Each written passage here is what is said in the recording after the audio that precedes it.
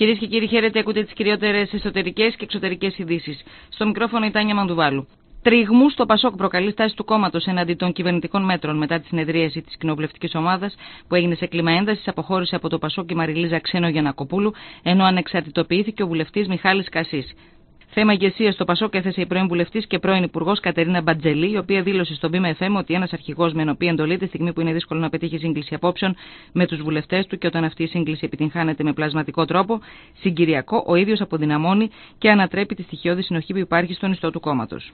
Την αποχώρηση του Πασόκ από την κυβέρνηση ζητεί εκ νέου με ανακοίνωσή της η αριστερή πρωτοβουλία, επισημένοντας ότι όλα όσα έχει πει το Πασόκ προεκλογικά και μετεκλογικά έχουν εγκαταληφθεί και ότι η κατάληξη όλων αυτών είναι η άνεφόρον παράδοσης στου σχεδιασμού της Τρόικας και των αγαπημένων της παιδιών στην Ελλάδα. Τη μείωση του ελλείμματος της γενικής κυβέρνησης στο 5,2% του ΑΕΠ το 2013 από 6,6% εφέτος προβλέπει ο νέος προπολογισμό, ο οποίος για πρώτη φορά εκτιμάται ότι θα παρουσιάσει πρωτογενές πλεόνασμα ύψους 0,4% του ΑΕΠ.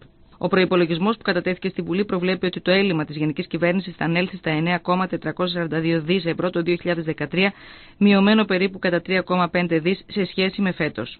Στη Βουλή αποστέλουν τη δικογραφία για την υπόθεση της λίστας Λαγκάρντ, οικονομικής εισαγγελή. Σύμφωνα με πληροφορίες, με μια λακωνική αναφορά σχετικά με τον νόμο περί ευθύνης υπουργών, οι κύριοι Πεπώνης και Μουζακίτης αποστέλουν τη δικογραφία από την έρευνα που διενήργησαν για τη μη αξιοποίηση των στοιχείων καθώς και ολόκληρη την επίμαχη λίστα με σκοπό η Βουλή να ερευνήσει ενδεχόμενες ευθύνες υπουργών στην υπόθεση των καταθετών στην τράπεζα HSBC έκκληση προς την Ελλάδα να διευθετήσει τις τελευταίες εκκρεμότητες και να ολοκληρώσει σύντομα τις διαπραγματεύσεις με την Τρόικα, απίθυνε ο πρόεδρος του Eurogroup Jean-Claude Juncker μετά τη λήξη της τηλεδιάσκεψης των Υπουργών Οικονομικών της Ευρωζώνης. Ψηφίστηκαν στην Ολομέλεια της Βουλής τα άρθρα του νομοσχεδίου του Υπουργείου Οικονομικών για την απόσυρση του δημοσίου από τα λιμάνια και τις μεγάλες δέκο, ενώ καταψηφίστηκε η τροπολογία με την οποία εντάσσονταν στον ΕΟΠΗ η κλάδη ασθενείας των τραπεζοϊπαλλήλων, των δικηγόρων, των μηχανικών, των γιατρών και των εργαζομένων στον τύπο. Απορρίφθηκε επίσης το άρθρο 4 που αφορά στις εισφορές του ΤΕ.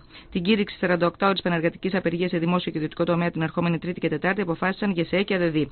Απέχουν σήμερα και αύριο από τα καθήκοντά τους οι δικηγόροι της χώρας. Τρίωρη στάση εργασίας κήρυξε για αύριο η Διδασκαλική Ομοσπονδία Ελλάδας. Εξωτερικές ειδήσεις. Η Υπηρεσία Δίωξης Ναρκωτικών της Ρωσικής Αστυνομίας ανακοίνωσε ότι κατέσχε σε ραδιενεργές ύλες κυρίως πλουτόνιους σε επιχείρηση που πραγματοποίησε σε εργαστήριο παρασκευής ναρκωτικών στη Μόσχα. Στους 22 ανήλθε ο αριθμό των νεκρών και στους 111 των τραυματιών από την έκρηξη βιτιοφόρου στην πρωτεύουσα της Σαουδικής Αραβίας Ριάντ. Το βιτιοφόρο που μετέφερε υγραέριο πήρε φωτιά όταν έπεσε σε γέφυρα σύμφωνα με πηγή των Σαουδαραβικών δυνάμεων ασφαλείας. Αθλητική επικαιρότητα.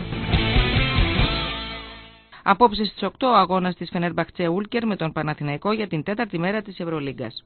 Ο καιρός.